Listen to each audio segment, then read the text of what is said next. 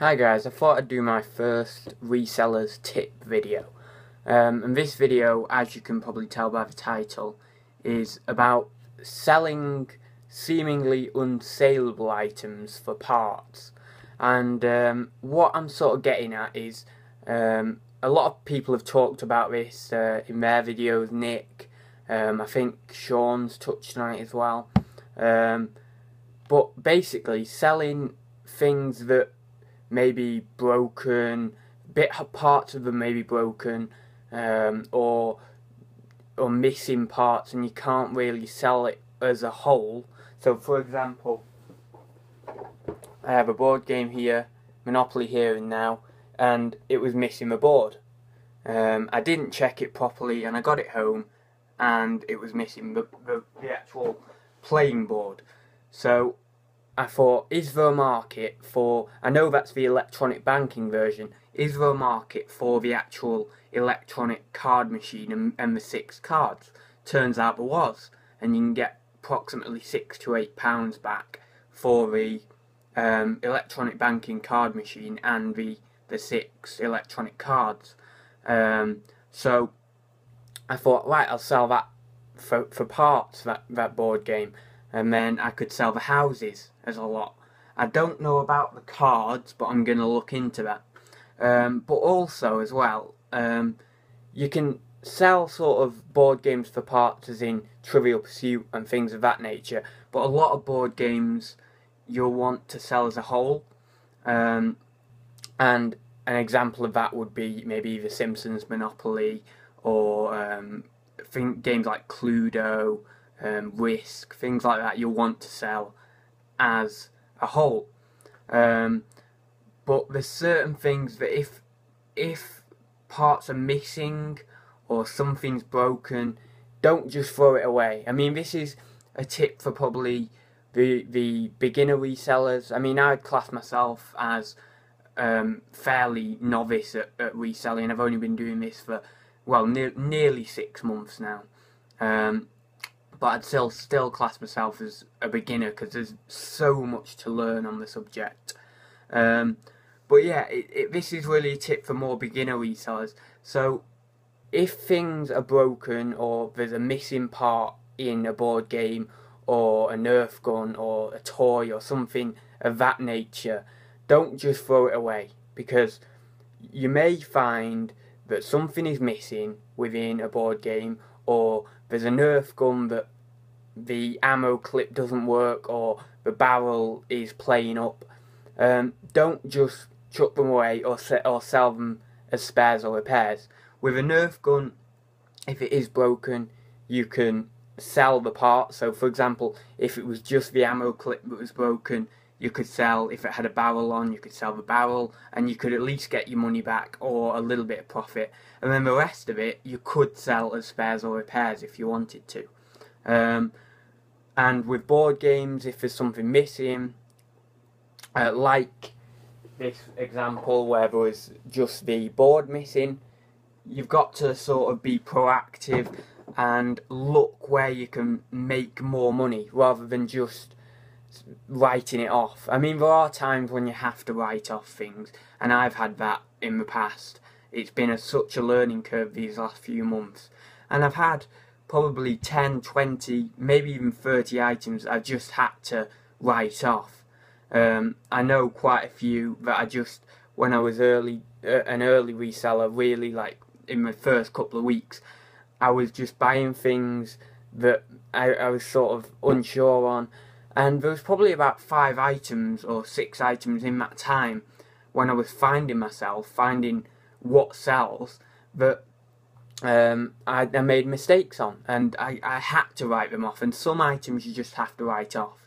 Um, but if you think, if you have any inkling that something, even though there is a missing part or something within the game is broken, you've got to think, right, can I sell this game for parts? And it literally takes two minutes to go onto eBay, search sold and ooh, search sold and completed listings. My iPhone doesn't like me today. Um, search sold and completed listings, and basically see if any of the parts from a board game sell, or even if it's a Nerf gun, gun, or certain other toys that can be broken down.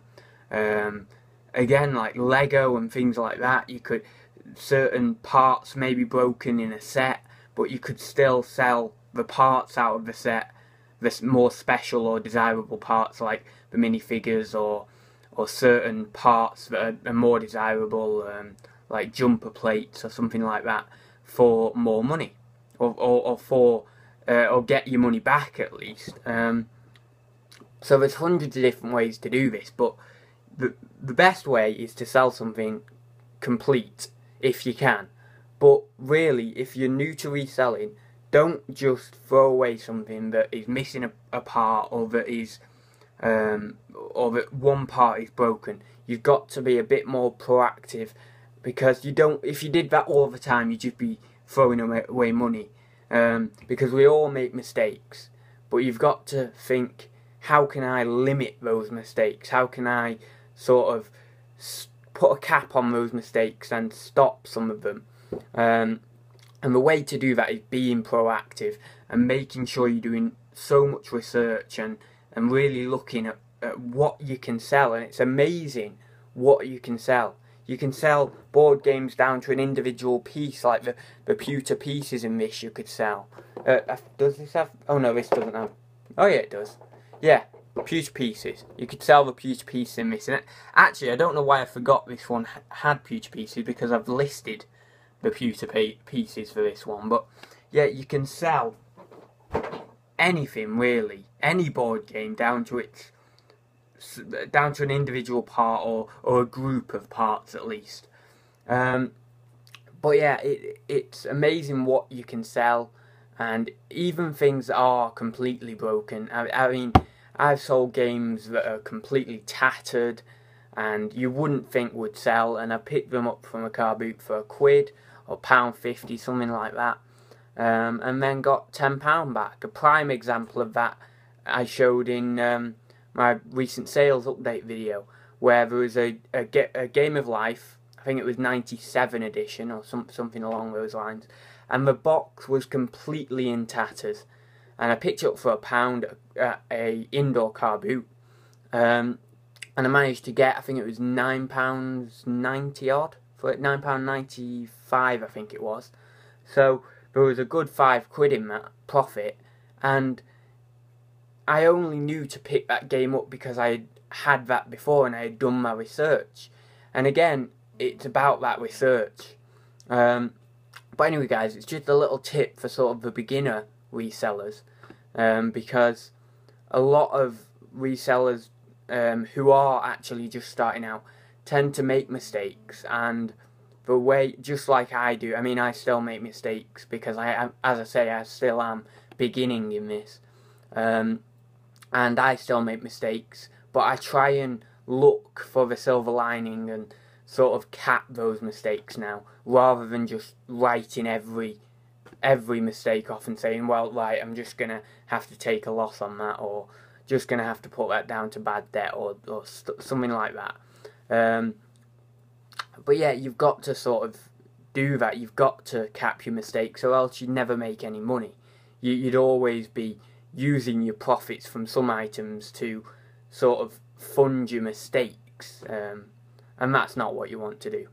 So anyway, guys, um, thanks for watching, and if you'd like to see more of these reseller type tip videos, I know a lot of other YouTubers do them. Um, just drop a comment below. If you like the video, like it, and if you didn't like it, doesn't bother me, you can click that dislike button. Or is it down that way? I don't know. Don't know which way I'm pointing. Um, and as always, subscribe if you haven't already. And I will see you in my next video, which is more than likely going to be a haul video as I've not done one in probably about a week now. Okay, see you then guys.